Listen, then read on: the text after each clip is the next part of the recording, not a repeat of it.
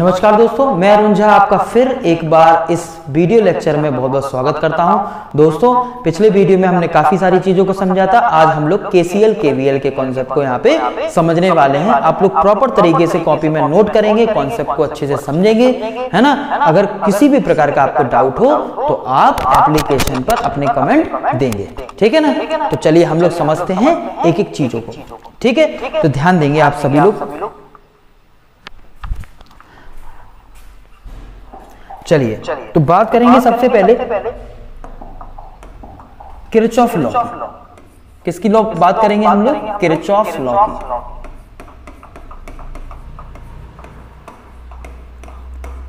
तो एक साइंटिस्ट थे किरचॉफ एक साइंटिस्ट थे किरचॉफ जिन्होंने दो नियम दिए। एक नियम दिया करंट का और एक नियम दिया वोल्टेज का। ठीक है?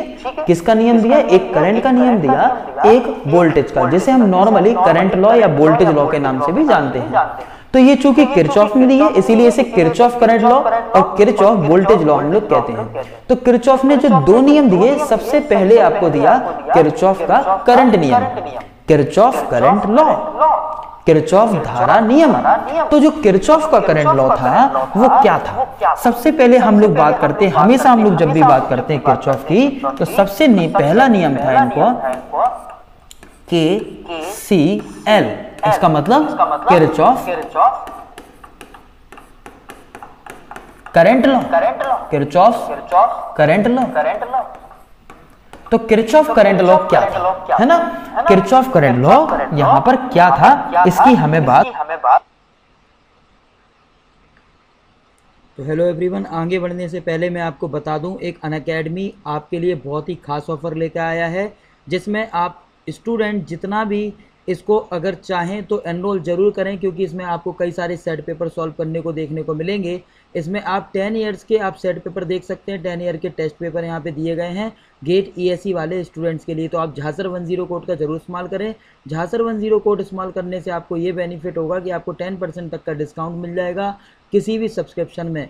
और आप फ्री एनरोल यहाँ पर इस पी वाई क्यू टेस्ट यानी कि प्रीवियस ईयर क्वेश्चन टेस्ट में कर पाएँगे dear student so it is most important thing for you all now the next next second thing is that कि 20 क्वेश्चन का 60 मिनट का टेस्ट होने वाला है 8 मई को। आप देख सकते हैं 8 मई को लिखा हुआ है और 11 A M eleven A M time आप रिमेंबर करें, टाइम ज़रूर याद रखें 11 ए एम डियर स्टूडेंट तो 11 ए एम पर आप डेफिनेटली इसको कनेक्ट करें 8 मई को। एट मई को संडे को आप ज़रूर कनेक्ट करें mechanical civil electrical C S I T A C सभी ब्रांच के लिए, जिसमें फोर था फोर करोड़ लगभग स्टूडेंट यहाँ पर बैठने वाले हैं और अच्छे से इस टेस्ट को देने वाले हैं।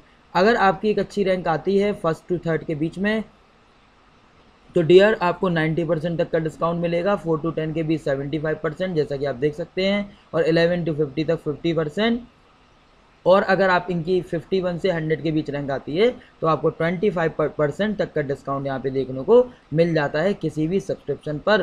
तो ये आपको बहुत इंपॉर्टेंट है, ये सब चीज़ें याद रखना आठ मई। और आप झासर वन ज़ीरो कोड ज़रूर इस्तेमाल करें, क्योंकि ये बहुत इंपॉर्टेंट है। झासर J H A S I R one zero okay you have to need it so I also discuss that if you use this झांसर one zero code and you get rank first then fifty percent scholarship also top one percentile have है thirty percent scholarship ten percent percentile fifteen और ninety percent percentile student have only ten percent discount so dear definitely you need to connect okay आप सभी को ये ज़रूर देना चाहिए because ये बहुत इंपॉर्टेंट है आप लोगों के लिए बस झांसर वन ज़ीरो कोड का आप ज़रूर याद रखेंगे। चलिए हम लोग बढ़ते हैं और एक एक चीज़ को फिर से क्वेश्चन को समझते हैं, ठीक है? तो हम लोग ध्यान रखेंगे इस बात को। करना है। तो देखिए किरचॉफ पहला नियम किरचॉफ ने ये दिया, करंट का नियम। तो जैसे ये आपके पास एक नोड है, इसे हम लोग क्या बोलते हैं मित्रों? इसे बोलते हैं हम लोग नोड क्या बोलेंगे? नोड इसी नोड को हम लोग एक और नाम से जानते हैं, जिसे हम लोग बोलते हैं जंक्शन क्या बोलते हैं? जंक्शन तो आपके पास एक ये है, एक ये है और एक यहाँ से ये जा रहा है।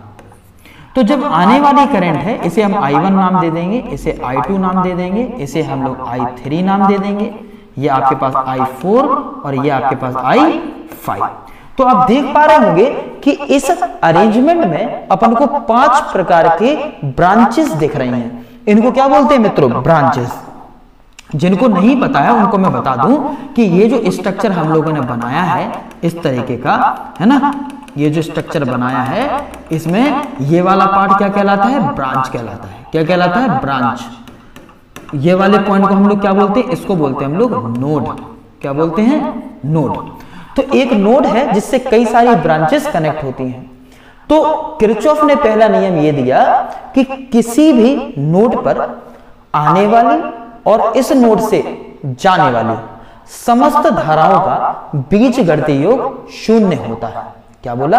किसी भी नोड पर आने वाली और उस नोड से जाने वाली समस्त धाराओं का बीज गणती योग शून्य होता है। ठीक है? क्या बोला इन्होंने?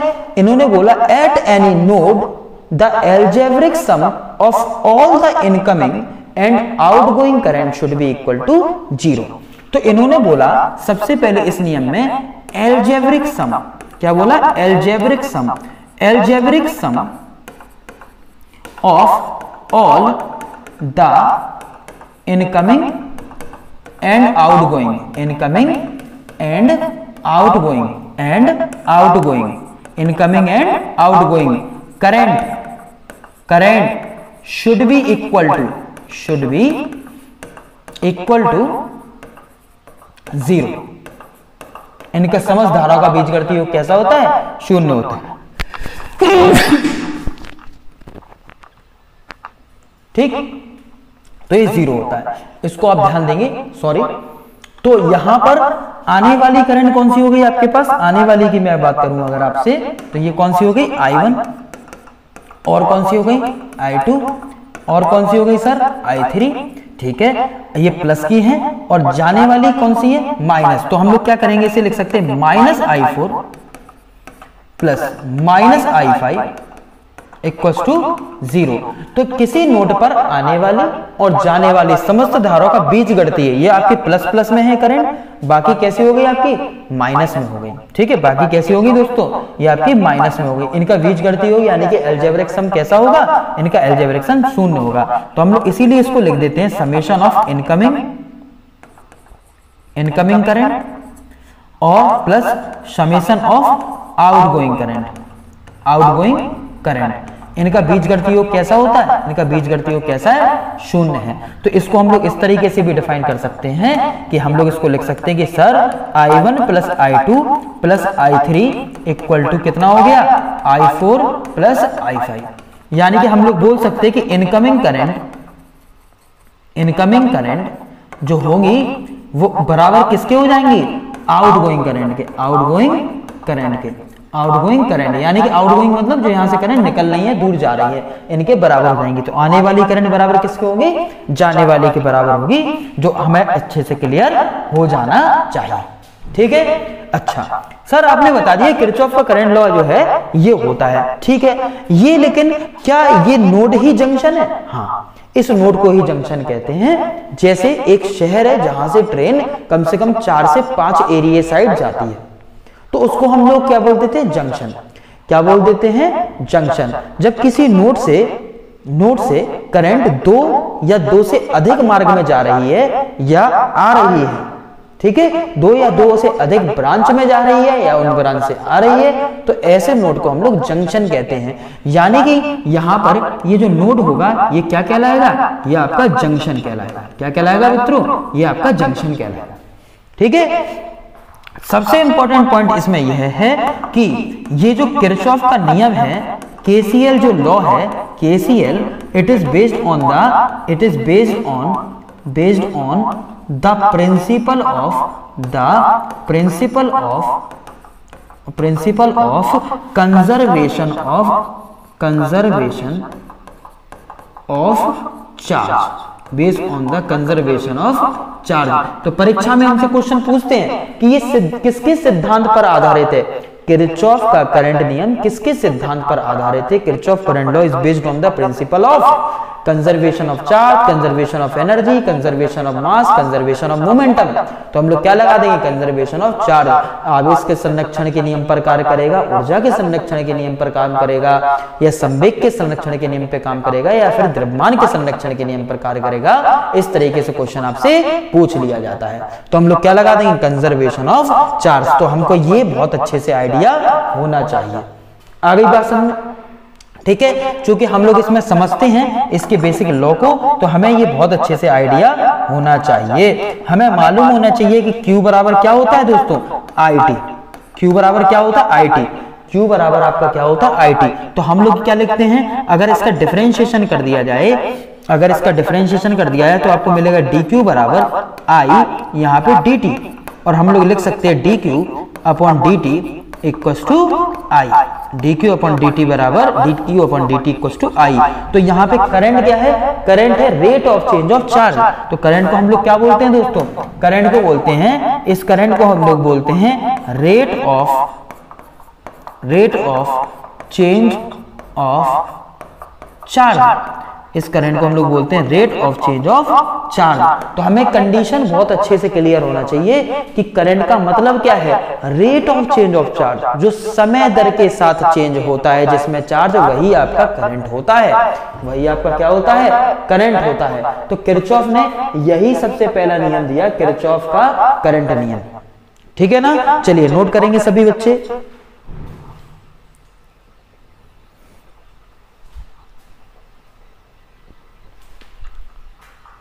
ठीक है? आई होप आपने नोटिस कर लिया होगा। चलिए हम लोग आगे बढ़ते हैं। ठीक है? तो ये किरचॉफ का करंट नियम हो गया। नेक्स्ट बात करेंगे हम लोग केवीएल की। केवीएल यानी कि केवीएल का मतलब क्या हो गया आपका? किरचॉफ किरचॉफ वोल्टेज लॉ क्या हो गया? किरचॉफ वोल्टेज लॉ ध्यान से आप सुनेंगे। बिल्कुल एक एक कॉन्सेप्ट को बहुत ही इंपॉर्टेंट है। बिल्कुल बेसिक बेसिक थ्योरी भी यहाँ पे आपकी पूरी कंप्लीट हो जाएगी। तो किरचॉफ का वोल्टेज नियम क्या था? किरचॉफ का वोल्टेज नियम क्या था? तो जैसे हम क्या कर रहे हैं यहाँ पर एक ले रहे हैं बैटरी।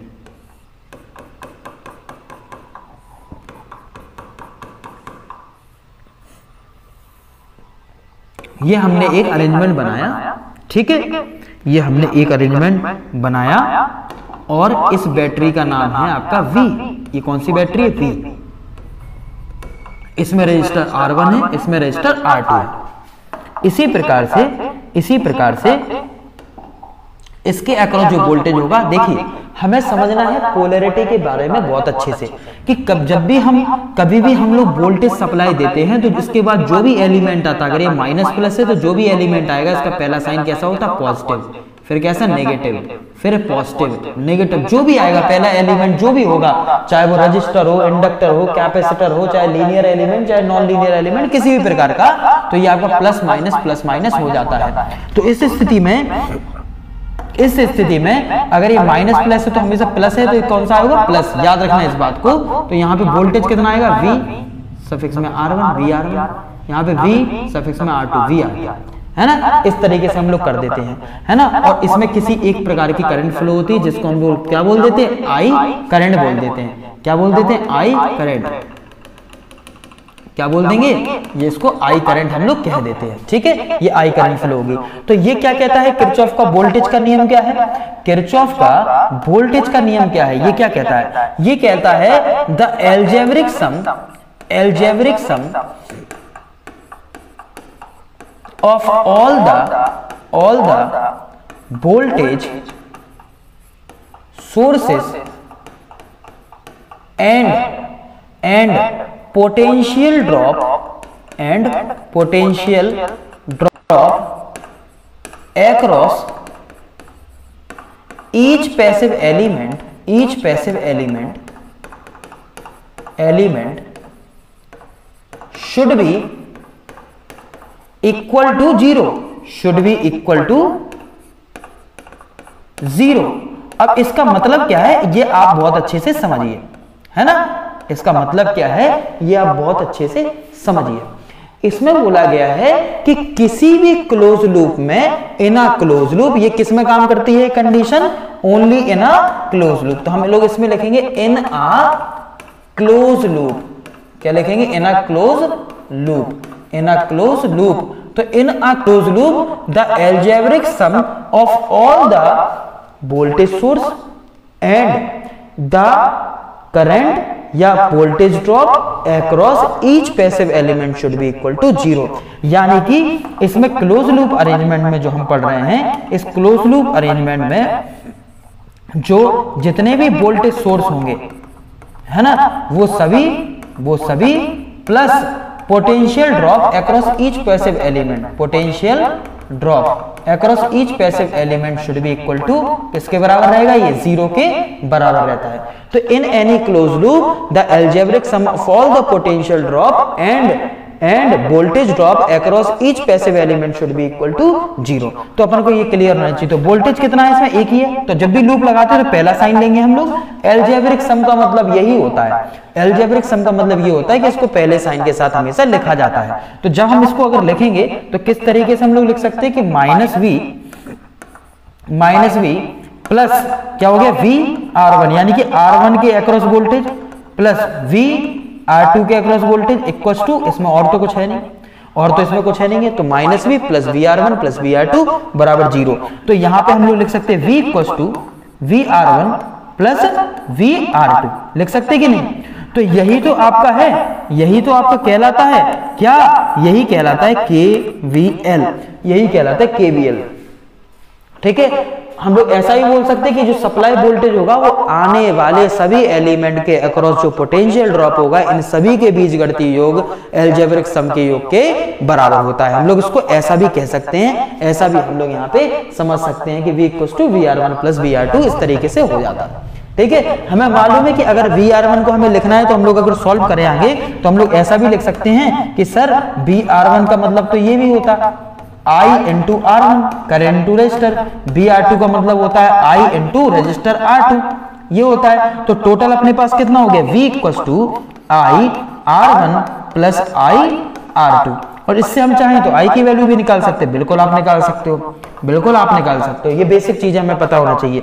सर ये जैसे आपने बताया था कि केसीएल कंजर्वेशन ऑफ़ चार्ज पर निर्भर करता है। ये किस पे काम करता है? तो केवीएल जो होता है it is depend on the principle of conservation of energy किस पे काम करेगा? Conservation of energy conservation of energy ये कंजर्वेशन ऑफ़ एनर्जी पर निर्भर करता है। यानी कि ऊर्जा के संरक्षण के नियम पर। किस पर? ऊर्जा। ऊर्जा के संरक्षण के नियम पर। बहुत इंपॉर्टेंट है दोस्तों ये परीक्षा की दृष्टि से आपके बहुत इंपॉर्टेंट है। तो यानी कि कंजर्वेशन ऑफ़ एनर्जी यानी कि ऊर्जा के संरक्षण के नियम पर काम करता है तो पूछ लेते हैं जनरली पेपर में Kirchhoff voltage law is based on the principle of तो हम बोलेंगे it is based on the conservation of energy तो ऑप्शन आता है conservation of energy conservation of mass conservation of momentum conservation of charge तो हम लोग कंजर्वेशन ऑफ़ एनर्जी यानी कि ऊर्जा संरक्षण के सिद्धांत पर कार्य करता है ये लगा देते हैं ठीक है? तो आप लोग एक एक पॉइंट बहुत अच्छी तरीके से कॉपी में नोट कर लेंगे। चलिए नोट करिए।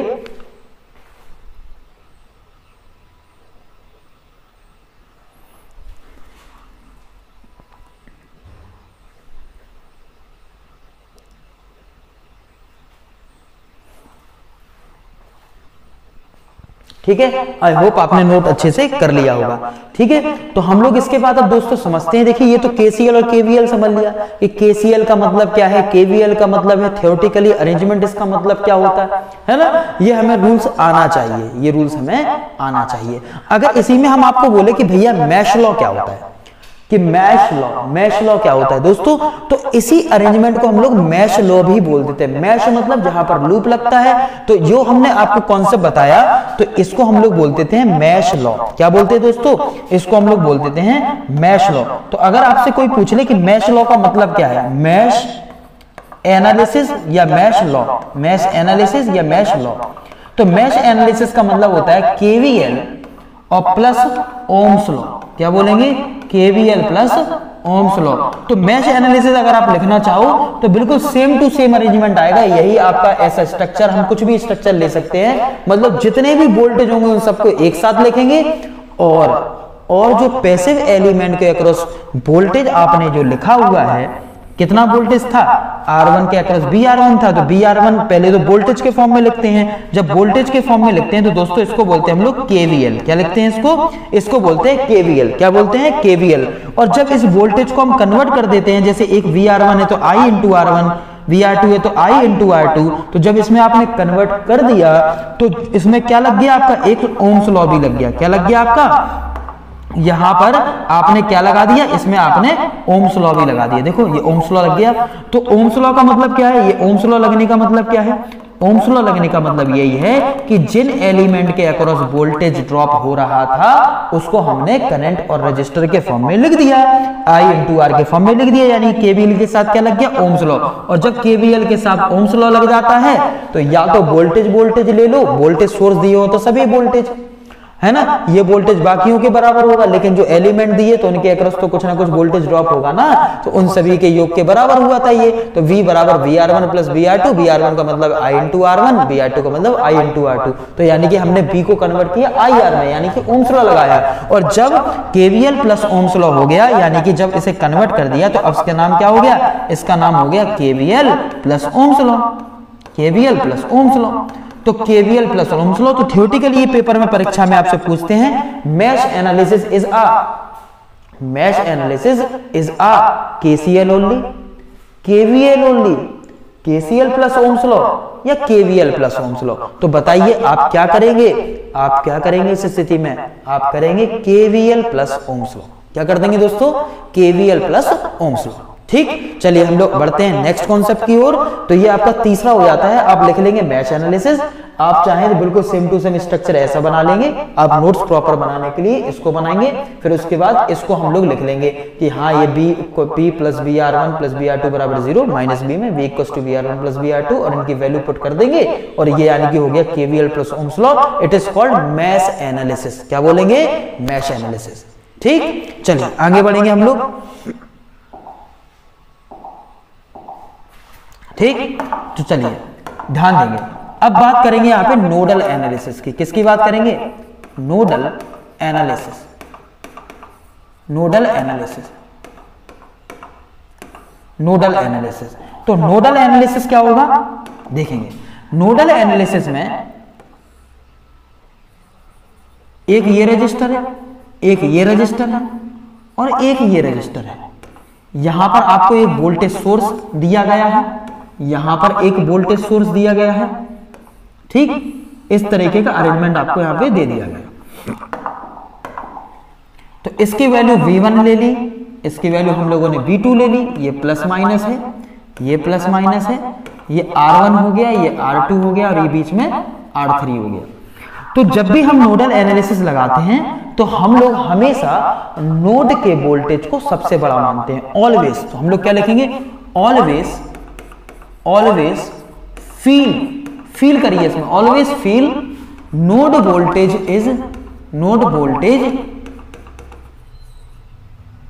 always feel node voltage is greater than other greater than other ये किससे? अदर ऑलवेज फील ठीक है? तो ये ग्रेटर है तो हम लोग क्या, इसको अपनी मर्ज़ी से हमेशा क्या मान लेंगे? वी एक्स यानी कि इस नोट को मान लेंगे एक्स और इस नोट पर आने वाला वोल्टेज क्या मान लेंगे? बी एक्स हमेशा बड़ा मानेंगे। और जहाँ पर, जिस पॉइंट पर वोल्टेज सबसे ज़्यादा होता है, वहाँ से करंट फ्लो होना प्रारंभ होती है, हमेशा वहीं से करंट फ्लो होती है। हमेशा वहीं से ही करंट फ्लो होगी, है ना? जो ग्रेटर होगा। तो जब वहीं से करंट फ्लो होगी, इस सब का मतलब क्या हो गया? इस सब का मतलब ये हो गया कि यहाँ से जब करंट फ्लो होगी तो इसके वोल्टेज की वैल्यू भी ग्रेटर होगी। यानी कि यानी कि हम लोग इसमें नोडल किस तरीके से लगाएँगे, ये आप देखिए। तो हम लोग मानते हैं कि यहीं से ही करंट दूसरी तरफ़ जाएगा। यहाँ से भी करंट ऐसा इस तरफ़ जाएगा। यहाँ से भी करंट इस तरफ़ ऐसा जाएगा। हमेशा मानते हैं ऐसा। तो इसको बड़ा मानते हैं। तो हम लोग क्या लेते थे? इसको अपनी मर्ज़ी से आई वन मान सकते हैं। इसको अपनी मर्ज़ी से आई टू मान सकते हैं। इसको अपनी मर्ज़ी से आई थ्री मान सकते हैं। ठीक है?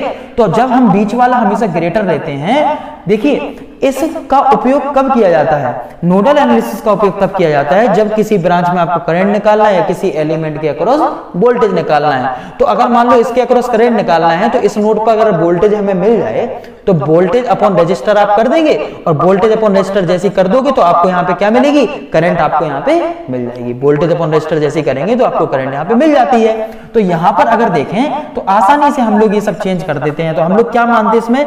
सबसे पहले ध्यान देंगे, हम लोग लिखेंगे किसी नोड पर जाने वाली करंट प्लस उस नोड पर आने वाली तो यहाँ पे हमेशा जाने वाली ही आपको मिल रही है।